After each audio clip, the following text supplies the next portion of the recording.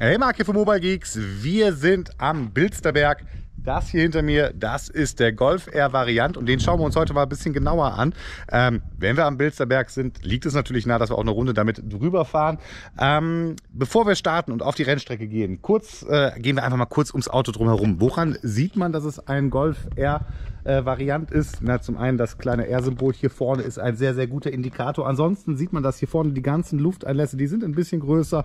Ähm, der Wagen hat jetzt das optionale Black Package, sonst wären die Spiegel hier silber all das, was hier sonst in Chrom wäre, vielleicht ist jetzt hier auch in ähm, ja, schwarz mattiert. Ansonsten ganz, ganz typischer Indikator hier hinten die vier Auspuffe die vier Auspuffrohre und damit kommen wir dann vielleicht auch schon zu einem der wichtigsten Punkte bei einem R-Modell.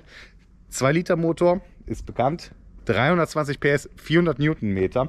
Und ähm, der Motor ist das eine, aber es ist vielmehr tatsächlich die Art und Weise, wie das Auto abgestimmt worden ist und dass der Wagen im Hintergrund auch den, ähm, ja, den Torque Vectoring Splitter quasi hat. Er hat also hinten die Möglichkeit, äh, bis zu 100 Prozent an das äh, ja, linke oder rechte Hinterrad zu verteilen. Wie das nachher in der Praxis aussieht, schauen wir uns jetzt mal auf der Rennstrecke und dann auch später in dem auf der Handling-Parcours-Strecke auch an. Ich denke, das wird ganz cool und ja, erstmal viel Spaß bei dem Video.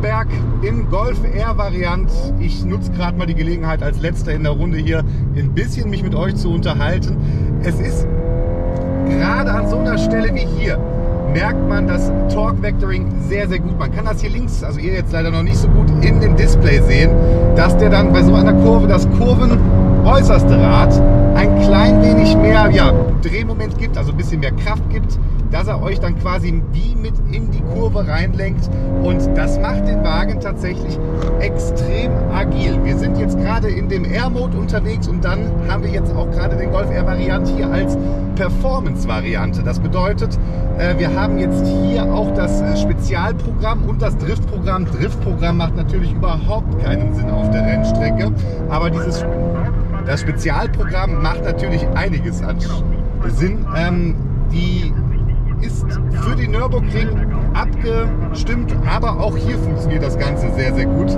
Oh, hier die Mausefalle mit der Kompression, das ist alles schon sehr, sehr, sehr, sehr spaßig. Das kann man gar nicht anders sagen.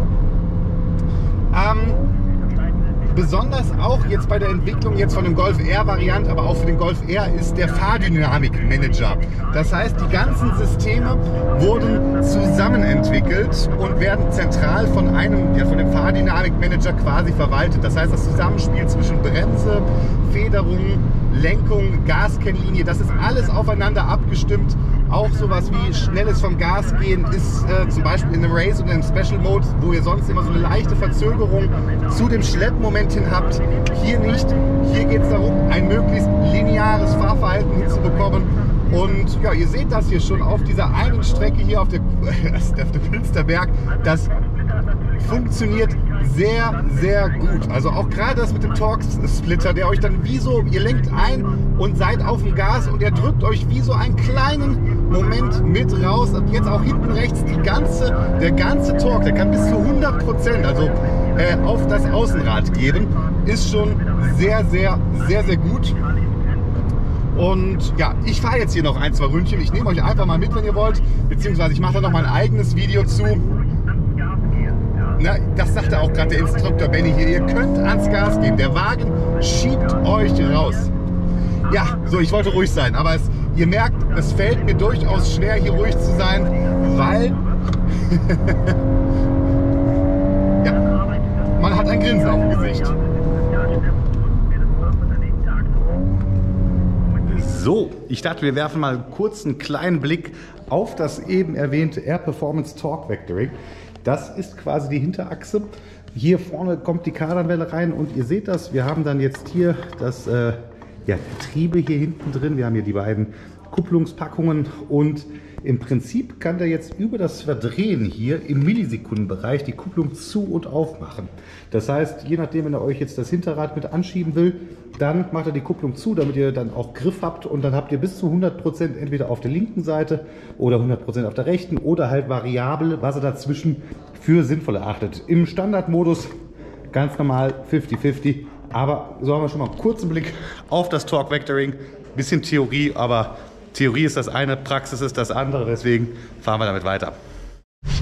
So, wenn wir hier in die Modi gehen, gibt es Komfort, Sport, Race und den Drift Mode. Wir sind jetzt in den Drift Modus, haben zusätzlich das ESC ausgeschaltet und ihr werdet das jetzt gleich sehen. Das ist ziemlich cool. Wir haben hier eine feuchte ähm, Straße oder eine feuchte Kehre. Alles, was wir jetzt nur machen müssen, ist den Wagen ausrichten und dann quasi, wir richten jetzt so 45 Grad aus, dann lenken wir ein, geben Vollgas und dann lassen wir Vollgas stehen im manuellen Modus 1 und ja, lassen eigentlich das Lenkrad nur gerade. Guck mal hin.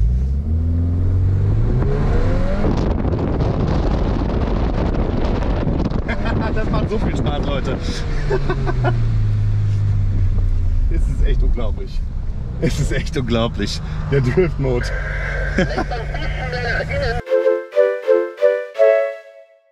Ein Tag Golf Air Variant und wir sind auf der Rennstrecke gefahren. Wir sind jetzt hier auf dem Driftteil gefahren und es ist tatsächlich die, ähm, ja, die Spreizung, die dieser Wagen kann zwischen komfortabel und dann jetzt hier in den Driftmodus, in den voll aus, Ausrastmodus.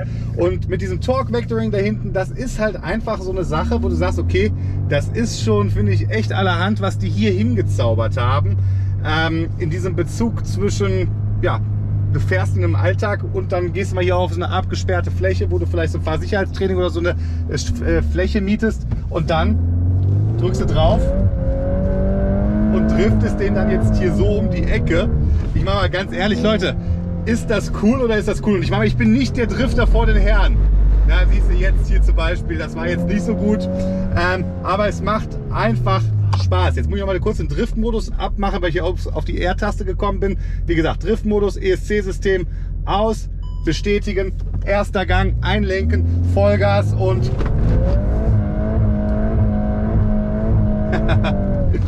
auch cool, Leute, oder? Ich weiß nicht, wie euch das geht, aber für mich... Das macht einfach... Könnte ich den ganzen Tag machen. Und es wird... Äh, man merkt wirklich auch, wie es besser wird. Also, ich will mich nicht beschweren. Ich drehe noch ein paar Ründchen. Ah, da war, das war nicht so gut. Die hier ist meine, das ist meine Schokoladenkurve hier. Also ich mache noch ein bisschen weiter. Ich bin Marc von Mobile Geeks. Vielen Dank fürs Zuschauen. Und äh, auf Mobile Geeks gibt es noch einen Artikel dazu. Äh, da könnt ihr das Ganze auch nochmal nachlesen. Da gehe ich auch noch mal ein bisschen mehr in die Technik ein. Ähm, ja, ich hoffe, hat euch ein bisschen Spaß gemacht. Wenn ihr Fragen habt, unten in die Kommentare. Äh, ja, bis dahin. Ne?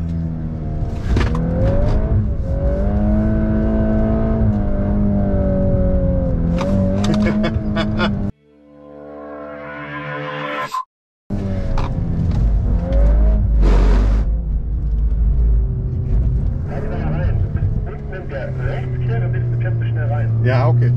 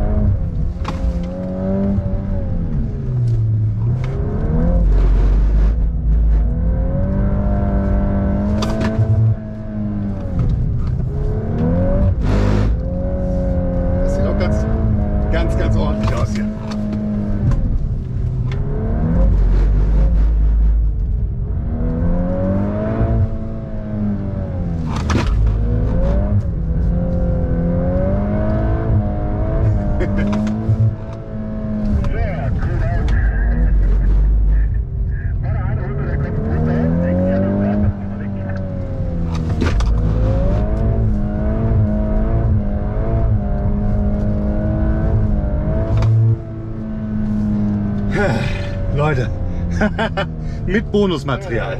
Ich bin am Schwitzen. Der Rundländer, wie sagt man so schön, Meine Herzfrequenz sagt, mal sehen, was meine Herzfrequenz sagt. Mann, Mann, Mann, Mann, Mann. Spielen mit dem Auto 8 Cent von der Das hat- Marktbahn 152. raus. Das hat sehr viel Spaß gemacht. Also, das war das Bonusmaterial. Macht's gut.